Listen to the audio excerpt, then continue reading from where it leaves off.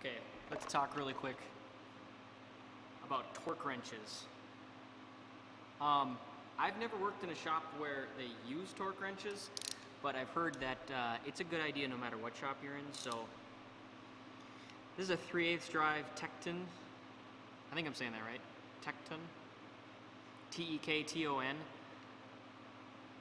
It is kind of the cheap one on Amazon, but it's also the best, I think, without spending huge amounts of money uh, because it's got like easy to read scales on it versus everything else this is just stamped.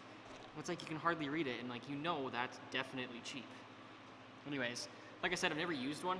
I'm gonna set it to like 45 45 foot pounds put it on the vise just to see what that feels like because honestly I have no idea.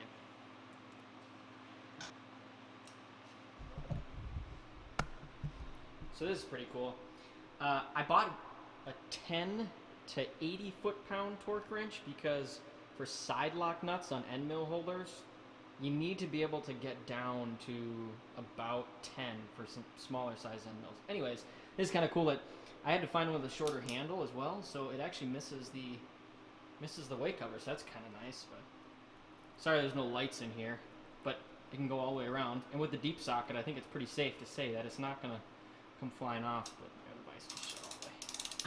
so anyways, I'm to see what this feels like. What? Oh yeah, 45 foot-pounds is about, honestly, probably about what I use just by hand. Feels about the same. Anyways.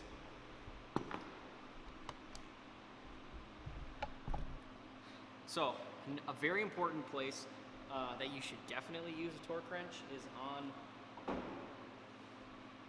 retention knobs because I have actually seen in the past where people torque these down too far and after you use them for a while you can see a bit of wear just about in this region where sort of the thread ends um, because once you tighten this up it's actually going to pull some of this material or, or push it out I should say. We definitely don't want that happening because it could damage the spindle and it's definitely not good for the tool holder in these things. These babies, the uh, Schunk Tendo E setup, these are $260 a piece, and I don't really feel like wrecking them. I've never worked with hydraulic tool holders before, but I've heard they're the bee's knees, so we're gonna give them a try. But like I said, kind of spendy, $260 each. All of these come at three quarter inch diameter, and then you need to sleeve them down to whatever size end mill you have. So this is an eighth inch sleeve. It's pretty small, but it's got coolant ports, and you can get them without the coolant ports too. But um, yeah. So essentially, what you're doing is once you get this sleeve in here, this is actually a, a plunger. That screw right there. Um, it's a plunger and there's hydraulic fluid inside of here. And when you, when this plunger gets depressed, the fluid is forced to, or whatever, pressure builds up into this uh, sleeve here on the inside. And uh, it actually collapses. And then it pinches, well, it pinches the sleeve and the end mill that's in there. So these are pretty cool hydraulic fluid has the this ability or this sort of uniqueness to it where it uh, will absorb lots of vibration. So these are really good for, I'm gonna say semi-roughing. Super heavy roughing, I don't know if it's a good idea in here, although I've seen people do it, but um, as well as finishing. Uh, so this has some really crazy concentricity stats, so you're gonna get longer tool life and better finishes. So that's super exciting. Um, we got a whole bunch of ER32 and ER16 collet holders. These are pretty cool too.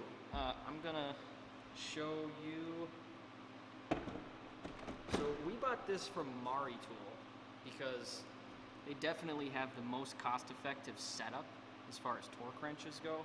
Um, but these are technically Technik holders.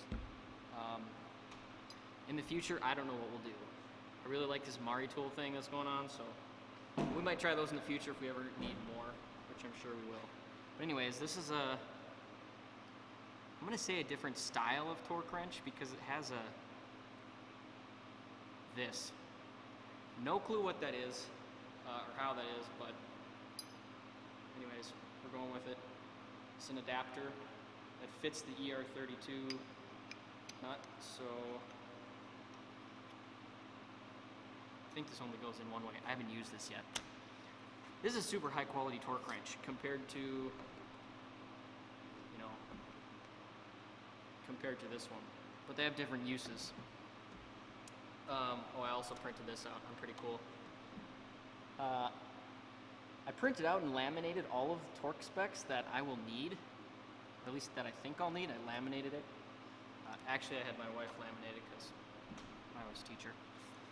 It's beside the point. So, ER32 collet holders are supposed to have a specific torque. Um, just for, God, what is it? The sake of repeatability. Um, and you know the run out that you can get with an ER32 collet, I think, is minimized. These are supposed to be to like 100 foot pounds, which is a lot. Like with just the hand wrench, I almost guarantee I never get it to 100 foot pounds, but now that we have this, uh, I'm excited to see how it affects the, you know, the performance of one of these holders. So, anyways, I'm gonna put this on here just because I haven't put it on before. I'm not gonna actually tighten it because there's no collet in there. Yeah, that's pretty cool. Doesn't ratchet back and forth, you know, like this one. Not an issue though.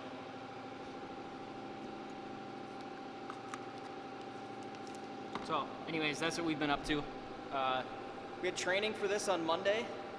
Uh, super awesome. The probe stuff, I can already tell, is gonna eliminate so much setup time. I was just quoting a part this morning, thinking like, dude, with that probe, this will take like two minutes. Uh, so that's awesome. We have coolant in it.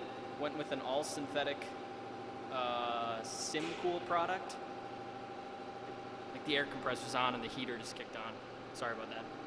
Anyways, uh, that's kind of a quick update. So we'll uh, we'll make sure that we keep you guys up to date on what's going on over here. This is super fun. In the other room over there, MTS Plant One, uh, tons of work going on, which means we're kind of pulled away from this for a little while, which is unfortunate, but it's good to be busy in this you know, crazy COVID world. Uh, so yeah, thanks for watching.